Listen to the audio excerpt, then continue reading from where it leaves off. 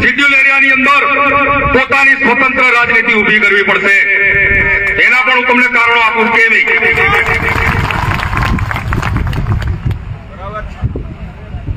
અત્યાર સુધી જ્યારે પણ આપણે જરૂર પડી છે ત્યારે જે જે રાજનેતા પાસે ગયા હોઈએ, એ પછી કોંગ્રેસ ના હોય, ભાજપના હોય, ગમે તે પાર્ટીના હોય, સમસ્યાઓ લઈને જઈએ છીએ ત્યારે એમના તરફથી એક જવાબ મળે છે. કે મારે પેલા પાર્ટીમાં પૂછવું પડશે. પાર્ટી મને આદેશ આપશે તો હું કરીશ. આવો, કેટલાને અનુભવ છે અહીંયા? આરબીસી આંદોલન પછી આરબીસી ને ઓબીસી માં લઈ જવાની જયારે દરખાસ્ત મુખ્યમંત્રીના ટેબલ પર પડી હતી ત્યારે અહીંયા મોડિયા સાહેબ ને બેઠા છે અહીંયા મારા સાથીદારો, મિત્રો. સીએમની એપોઇન્ટમેન્ટ લેવાની હતી. સીએમની એપોઇન્ટમેન્ટ માત્ર ધારાસભ્ય અપાવી શકે સવારે અગિયાર વાગ્યા અમે સચિવાલય સચિવાલયમાં ઉભેલા હતા. જેટલા ધારાસભ્ય આવે એમને પકડી પકડીને કહેતા હતા કે અમને સીએમ પાસે લઈ જાઓ. સીએમ પાસે લઈ જાઓ, એની એપોઇન્ટમેન્ટ લઈ આપો. પેલા એક કે જે આજે મંત્રી છે કેબિનેટ ઈ કે હું દસ મિનિટમાં આવ્યો, તમે ઊભા રહો. એક છે કઈ સરકારની અંદર દંડક હતા. એક એક પંદર મિનિટનું મારું કામ છે, પેલા બ્લોકમાં જઈને હું આવ્યો. બીજા એક મળ્યા. એ આમ નાનું કાઢીને છટકી ગયા. અને જયારે સીએમની ગાડી સચિવાલયમાંથી બહાર ગઈ, ત્યારે છ વાગે તરત તોડેલા ત્રણે ત્રણ આવી ગયા જાણ્યા ઉપરથી આયા હોય હેલિકોપ્ટરમાં એમ. અરે સીએમ તો જતા રહ્યા. આ આપણી રાજનીતિક તાકાત. બિલકુલ ઝીરો. આપણા જો ત્રણ ધારાસભ્યો એક મુખ્યમંત્રીની મુલાકાત નહીં અપાઈ શકતા હોય તો એ રાજનીતિને આપણે શું કરવી જોઈએ.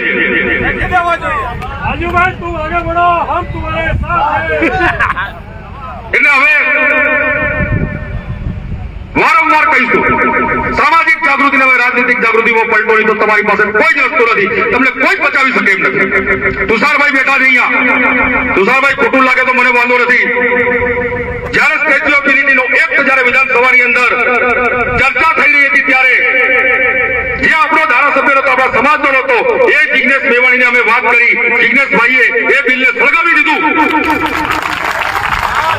અને જિજ્ઞેશના સળગાવ્યા પછી જયારે અમે આપણા ધારાસભ્યો પાસે ગયા કોંગ્રેસના જ હતા એમની પાસે ગયા અને એમને કીધું કે તમે પણ બિલ સળગાવો બીજા દિવસે નહીં સળગાવ્યું અને અમે પૂછ્યું કે કેમ તો કે પાર્ટીએ ના પાડી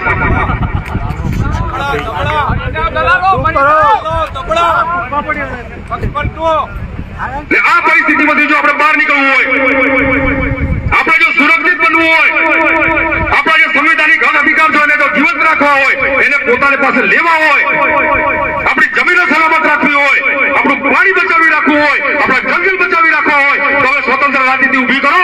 એના સિવાય કોઈ છૂટકો નથી. અને હું તમને ગેરંટી આપું છું, આપણા સત્યાવીસ જે આપણી અનામત સીટો છે. અને બીજી ત્રીસ સીટો એવી છે કે જેના પર આપણે શકીએ છીએ હાર જીત નક્કી કરી શકીએ છીએ એમાં જો ત્રીસ સીટો આપણે જીતી ગયા તો આપણને પૂછ્યા વગર કોઈના બાપની તાકાત નથી સરકાર બનાવે અને આ રીતે જો દેશમાં ખાલી વીસ સંસદ સભ્યો જો આપણે સામાજિક રીતે ચૂંટીને મોકલી દીધા દિલ્હીની ગાદી પર આપણે કોણ બેસી આપણે નક્કી કરી શકીએ એમ છીએ હવે એક માત્ર ઉપાય સામાજિક જાગૃતિ ને રાજનીતિક જાગૃતિમાં પલટો પલટો ને પલટો. આ અમારી યાત્રાનો ત્રીજો સંદેશ હતો. જે આજે આપણે બદલ્યો. અને ઘણાને એમ લાગતું હશે કે સ્વતંત્ર રાજનીતિ કઈ રીતે ઊભી થશે? ઘણી મુશ્કેલ છે. ચૂંટણી લડવા માટે હજારો, લાખો, કરોડો રૂપિયાનો ખર્ચ થાય. એક ધારાસભ્ય બનવું હોય તો પાંચ કરોડ રૂપિયા જોઈએ. સંસદ સભ્ય બનવું હોય તો પચાસ કરોડ રૂપિયા જોઈએ. વાત સાચી ખોટી? આપણા બે ધારાસભ્ય અહીંયા બેઠા છે. એમને રૂપિયા ખર્ચીને આવેલા છે. હવે હું તમને એક વાત કહું. મેં આગળ જે ત્રણ વાત કરી હતી, અમારી એક ચોથી વાત. જો મને કોઈ એમ કે આદિવાસી દારૂની પોટલીમાં વેચાય છે, બસો પાંચસો રૂપિયામાં વેચાય છે, તો પણ હું એને મારવા માટે તૈયાર છું. બિલકુલ ખોટી વાત છે. બિલકુલ ખોટી વાત આપણે આપણા સમાજને, આપણા સામાન્ય વ્યક્તિને પોતાનો ઉમેદવાર પસંદ કરવાની તક જ નથી આપી. આપીશ કોઈ દિવસ. તમારી સામે ચૂંટણી જાહેર થયાના અઠવાડિયા પછી એક માણસને ઊભો કરી દેવામાં આવે છે અને કહેવામાં આવે છે કે આ તમારો ઉમેદવાર છે, એને તમારે વોટ આપવાનો છે. હકે ને તકે મજબૂરીમાં આપણે એને વોટ આની જીતાડીએ પોતાની પસંદગીનો ઉમેદવાર કોને મળ્યો અત્યાર સુધી? મળ્યો કોઈને? તો આ કઈ રીતે શક્ય બનશે હું એ વાત કરવા માંગુ છું. જો આપણો સમાજ, એની ગ્રામ એક ઉમેદવારને તૈયાર કરે, કે અમારો ઉમેદવાર આવો, હોવો જોઈએ એમ કરીને. જે બંધારણનો જાણકાર હોય, આપણા હક અધિકાર બચાવી શકવા માટે લડવા માટે તૈયાર હોય કોઈથી ડરતો ના હોય, સૌથી મોટી વાત તો કોઈથી વેચાતો ના હોય, ગમે તે કિંમતે. આ પેલી શરત છે આપણા એ વેચાતો ના હોય, અને સમાજ પ્રત્યે સમર્પિત હોય એવા વ્યક્તિને આપણે ઊભો કરીએ અને ગામે ગામ એની વિધાનસભા હોય, જિલ્લા પંચાયત હોય, તાલુકા પંચાયત હોય, કે સંસદ હોય, એની અંદર એને ઊભો કરવામાં આવે કે આપણે એના નામને જાહેર કરીએ લોકોની વચ્ચે. અને લોકોને કહીએ કે આમાંથી આ બે કે ત્રણ વ્યક્તિ એવા પસંદ કરીએ અને એમાં લોકોને ઓપ્શન આપીએ. એને લોકોને પસંદ કરવા માટેની વિનંતી કરીએ. અને જ્યારે લોકો પોતાનો ઉમેદવાર પસંદ કરશે અને એને જો આપણે ચૂંટણીમાં ઊભો રાખીશું, એને કોઈ પાર્ટીના મેન્ડેટની જરૂર નથી, એને પૈસાની જરૂર નથી, એને દારૂની ખોટલીની જરૂર નથી. જ્યારે પોતે ઉમેદવારને પસંદ કર્યો હોય, તો તમે એની દારૂ માંગો ખરા? પૈસા માંગો ખરા? તો આ પાંચ કરોડ દસ કરોડ વાળી વાત સાચી ખોટી? અમારા કાંતિભાઈ રોતાઈ બેઠા છે. એમની આ તો એક અઠવાડિયું પ્રચારમાં તો રાજસ્થાનમાં લોકસભાની ચૂંટણી. એનું ઉદાહરણ તમને આપું. કાંતિભાઈ જયારે પ્રચાર કરવા માટે જતા હતા, ત્યારે લોકો એમને હાર પહેરાતા હતા, તમે આજે અમને ફેરાયા, પચીસ પચાસ હાર. કાંતિભાઈએ બીજા દિવસે સોશિયલ મીડિયામાં જાહેર કર્યું કે તમે વીસ વીસ રૂપિયાના મને પચાસ હાર ફેરાવો છો. એટલે તમે આવા પાંચસો રૂપિયાના હાર લાવો છો ને મારી પાસે તો પૈસા નથી. છોકરાઓને નાસ્તો કરવા પ્રચારમાં હાથે ફરીને આપવાય પૈસા નથી. તો તમે હાર ફેરવવાના બંધ કરો ને એટલા પૈસા મને આપો. પછી શું થયું? પછી એવું થયું કે કાંતિભાઈ જે જે ગામમાં પ્રચાર કરવા જાય, ત્યાં કાંતિભાઈને હજાર, બે હજાર રૂપિયા ગામ લોકો સામેથી ભેગા કરી આપતા હતા. હવે પૈસા ઉમેદવારે ખર્ચવા પડે, કોને ખર્ચવા પડે? પૈસા વગર ચૂંટણી જીતાય કે નહીં જીતાય ઈ મનકો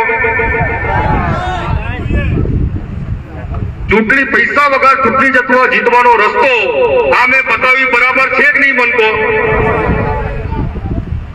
તો પછી જો આ પ્રમાણે જો આપણે આપણી સામાજિક જાગૃતિ અને રાજનૈતિક જાગૃતિમાં પલટીએ, તો આવનાર સમયમાં આપણે રાજ કરતા થઈએ કે નહીં થઈએ? આપણા અધિકાર બચે કે નહીં બચે? શેનું જરૂર છે માત્ર મનથી તૈયાર થવાની, એક ધગસ ઊભી કરવાની, ગામે ગામ ફરવાની, તૈયાર કરવાની લોકોને સમજાવવાની અને એક જીતવાના જુનૂનની, જો આટલું આપણે કરીશું, તો આવનાર સમયની અંદર આપણે જેમ આપણા દોહા કહેતા હતા કે આપણે ધૂળ મૂળના ધણી છીએ, તો ધૂળ મૂળના ધણી પણ આપણે સાબિત થવું. સુપ્રીમ કોર્ટ જેમ કે છે કે આ દેશના માલિક આપણે છીએ, તો માલિક પણ આપણે સાબિત થઈશું.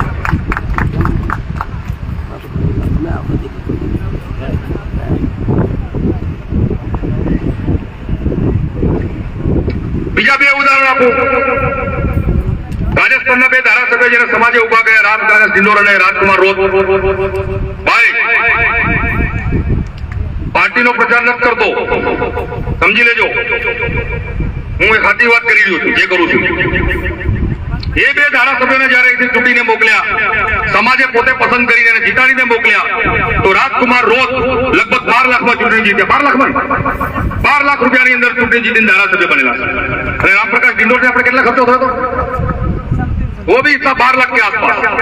બે ધારાસભ્યો આપણા ગુજરાતની અંદર ધારાસભ્ય બનવું હોય તો પાંચ કરોડ ઓછામાં ઓછા જોઈએ. એની જગ્યા પર જયારે સમાજે પસંદ કરીને પોતાના ઉમેદવાર ઊભા કર્યા, ત્યારે બાર બાર લાખ રૂપિયાની અંદર આ બે ધારાસભ્યો બન્યા છે. અને કેવા ધારાસભ્ય બન્યા? એ બે ધારાસભ્યોએ પાંચ વર્ષ સુધી રાજસ્થાનની સરકારને નાકમાં દમ કરી રાખ્યો અને એ તો ઈ, પણ ત્યાંના બસો ધારાસભ્યોની અંદર લગાતાર પાંચ વર્ષ સુધી એના કામમાં પહેલા ને બીજા નંબરે આ બે જણ રહ્યા. અને કેમ કરી શક્યા? હું જે વાત કરું છું એ કેમ કરી શક્યા એના માટે કહેવા માંગુ છું. એ એટલા માટે કરી શક્યા કે એમને કોઈ પાર્ટીનો કોંગ્રેસ ભાજપ કે બીજી કોઈ પાર્ટી પાર્ટીનો મેન્ડેટ હતો એમને આપણી જનતાનો, આદિવાસી લોકોનો મેન્ડેટ હતો. અને એમની જવાબદારી આદિવાસી લોકો પ્રત્યેથી નહીં કે કોઈ પાર્ટી પ્રત્યે. એટલે આ કામ કરી શક્યા એટલે જયારે આપણને જવાબદાર, એક મતદાર તરીકે જો આપણને જવાબદાર ઉમેદવારને આપણે ઊભો કરીને જીતાડીશું ને જીતાશે, તો આપણને જવાબદાર રહેશે. જો કોઈ પાર્ટીને જવાબદાર વ્યક્તિને ચૂંટીને મોકલીશું, તો એ પાર્ટીને જવાબદાર રહેશે, એમાં બી કોઈ શંકા નથી. એટલે હવે પચાસ સિત્તેર વર્ષ દરમિયાન આ આદિવાસી સમાજને અલગ અલગ પાર્ટીઓની અંદર વેચીને જે અલગ કરી નાખવામાં આવ્યા છે એક- ઘરની અંદર ત્રણ ભાઈઓને ત્રણ અલગ અલગ પાર્ટીઓ વેચવામાં આવ્યા છે, એ હવે બંધ કરો. રાજનીતિક રીતે સંગઠિત થાવ જ્યાં સુધી રાજનીતિક રીતે સંગઠિત નહીં થઈએ, ત્યાં સુધી આપણે અસુરક્ષિત રહીશું રહીશું ને રહીશું. અને જો આમ નહીં કરીશું, તો જેવી રીતે આપણા મધ્યપ્રદેશની અંદર આપણા ભાઈ ઉપર ભાજપના નેતાનો કોઠિયો મૂત્ર વિસર્જન કરી જાય છે. આપણે કઈ નથી કરી શકતા. આપણે શું તોડી લીધું એનું? કઈ જ નહીં. મણિપુરની અંદર આપણી બહેનોને નિવસ્ત્ર કરીને ફેરવવામાં આવી. આપણે શું કરી લીધું એમનું? કઈ નહીં. રાજસ્થાનની અંદર તમે દેખો સિરોહીની અંદર કાર્તિક ભીલને મારી નાખવામાં આવ્યો. આઠ મહિનાથી એનો પરિવાર ધરણા પર બેઠેલો છે. એને ન્યાય નથી, સરકારે આપ્યો નથી, આપણે અપાવી શક્યા. આપણે શું કરી લીધું?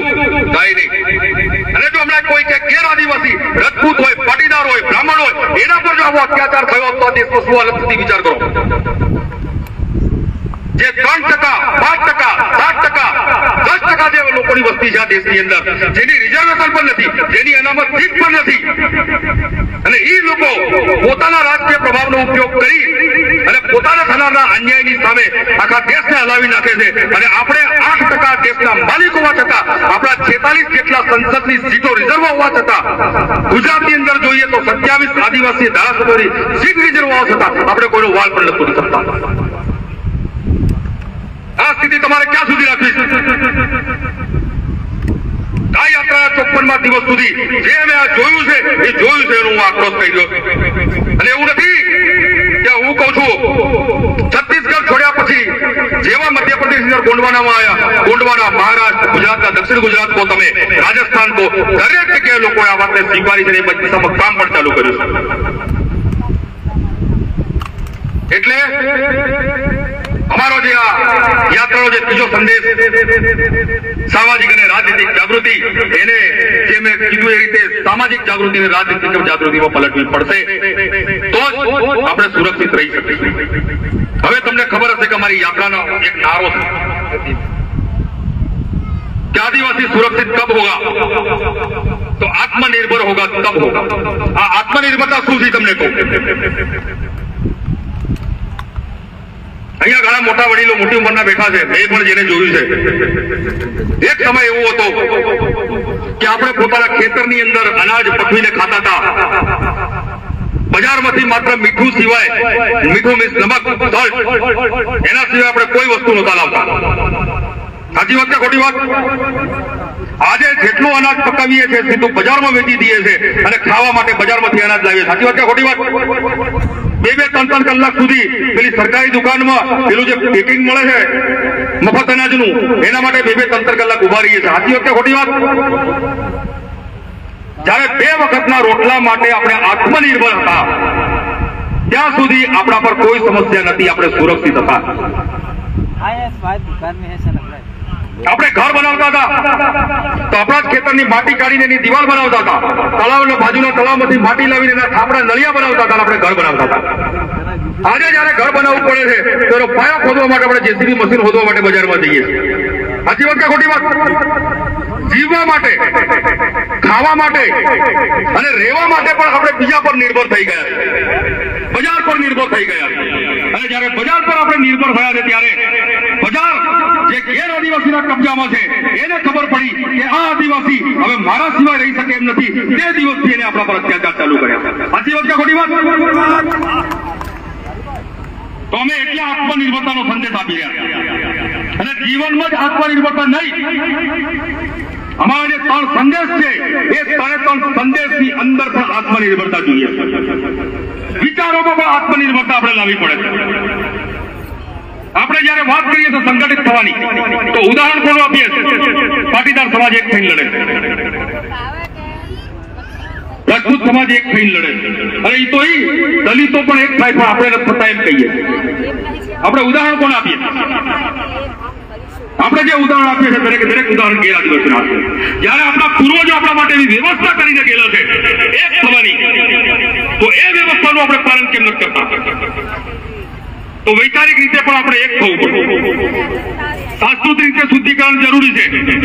પણ જે સામાજિક અને રાજનીતિક રીતે જે આપણે વાત કરી રહ્યા છે, તો રાજનીતિક રીતે પણ આપણે આત્મનિર્ભર થવું પડશે. અને જો એમ નહીં થઈશું તો આપણે અસુરક્ષિત રહીશું રહીશું રહીશું. આપણને કોઈ જ નહીં બતાવી શકે એટલે આ યાત્રાને આજે ચોપન દિવસ થયા, સાત હજાર ઉપરાંત કિલોમીટર થયા. અને જયા શહીદો જે આપણા માટે શહીદ થયા હતા, એ શહીદો ને શ્રદ્ધાંજલિ આપવા માટેનો એમને શ્રદ્ધાંજલિ આપતા જઈને જે હું પચીસ વર્ષે શહીદ થનાર આપણા બિરસા ક્રાંતિકારી બિરસા મુંડાના ગામથી જે માટી લઈને અહીંયા આવ્યા હતા, એનો જે સંદેશ લઈને આવ્યા હતા, એ સંદેશ જો હું તમને ના કહું તો યોગ્ય નહોતું એટલે મેં આ કીધું કે જે અમે ત્યાંથી જોતા જઈને આવ્યા છે, રાજનીતિક રીતે જે મજબૂત થવાની જરૂર છે, એ દરેકે દરેક લોકોએ વાત કરી છે, સ્વીકારી છે, ત્યારે અહીંયા પણ મારે કેવી જરૂરી હતી, અને અમે તમને કીધી. હવે અમારી આ જે યાત્રા છે, યાત્રાનો સંદેશ. તમે એક એક આદિવાસી સુધી પહોંચાડો, એવી અમે તમારી પાસે અપેક્ષા રાખીએ અને બીજા નંબરે, ખાસ તો આ દડવામના, અરવલ્લીના, સાબરકાંઠાના જેટલા પણ લોકોએ આ આદિવાસી સુરક્ષા યાત્રાના સમાપન કાર્યક્રમની અંદર ઠેર ઠેર જેવા શામળાજી આવ્યા ત્યાંથી માંડીને અહીંયા દડવાઓ સુધી યાત્રાનું જે તમે સ્વાગત કર્યું છે જેને જોશભેર વધાવી છે, એ બદલ તમારા ખૂબ ખૂબ દિલથી ખૂબ ખૂબ અભિનંદન, ખૂબ ખૂબ ધન્યવાદ અને ખૂબ ખૂબ આભાર. ઉપરાંત આ સુરક્ષા યાત્રા સમાપન કાર્યક્રમ માટે નવ ઓગસ્ટથી પહેલાથી જે દિવસે અમે અહીંયા મિટિંગ કરવા માટે આવ્યા હતા, તે દિવસથી માંડીને અહીંયાની જે ટીમ કામમાં લાગેલી છે, આનંદભાઈ, દિલીપભાઈ અહીંયાના સરપંચ ગણપતભાઈ અને આ જે આખી ટીમ છે, દરેકે દરેક ટીમ કોઈનું નામ લેવાનું જો ચૂકી જતો હું તો મને માફ કરજો. પણ જે લોકોએ જે મહેનત કરી છે, રાત દિવસ, પાંત્રીસ દિવસ સુધી, અને પાંત્રીસ દિવસની મહેનત પછી જ્યારે હજારોની સંખ્યાની અંદર આ સુરક્ષા યાત્રાના સમાપન કાર્યક્રમમાં નહીં, પણ આ સુરક્ષા યાત્રાનો સંદેશ લઈ જવા માટે જે લોકોને ભેગા કર્યા છે, એ બદલ આ ટીમને, આ દરેકે દરેકને હું ખૂબ ખૂબ અભિનંદન આપું છું, ધન્યવાદ આપું છું, એમનો ખૂબ આભાર માનું છું. અને ફરી આપ સૌનો ખૂબ ખૂબ આભાર. જોહાર, જય આદિવાસી. હલો. આજે ઐતિહાસિક માનવ મેદની ભેગી કરીને આપણા સમાજની જે પણ શંકાઓ હતી, એ તમામ શંકાઓ આજે તમે પોતે ખોટી પાડી છે.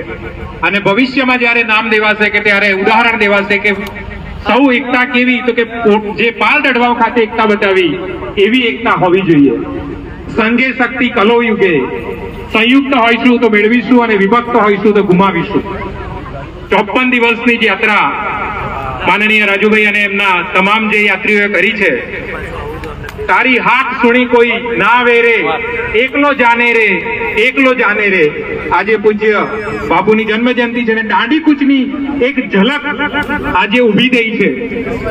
ઝારખંડથી નીકળેલી યાત્રા જેમ દાંડી કૂચમાં લોકો જોડાતા ગયા, એમ આપણા સમાજના દરેક જગ્યાએ લોકો જોડાતા ગયા. અને આજે સમાપન કાર્યક્રમ પ્રસંગે હજારોની માનવ મેદની આનું ઉદાહરણ છે. હવે આના પછી આપણે માનનીય ચૈતરભાઈ વસાવા, માનનીય કાંતિભાઈ રોહત આ બધાને સાંભળવાના છે. એ પહેલા આદિવાસી નૃત્ય રજૂ કરશે સર્વોદય આશ્રમ શામળાજી. એના પછી સાંસ્કૃતિક કાર્યક્રમો પણ છે. એ બધા જ આપણે નિહાળીશું. સૌ શાંતિ રાખીશું. પૂરતો સમય આજના દિવસ પૂરતો. આજે સમાજ માટે આપણે આખો દિવસ આપવાનો છે. ખૂબ મહેનત કરી છે અહીંના આયોજકોએ સૌએ.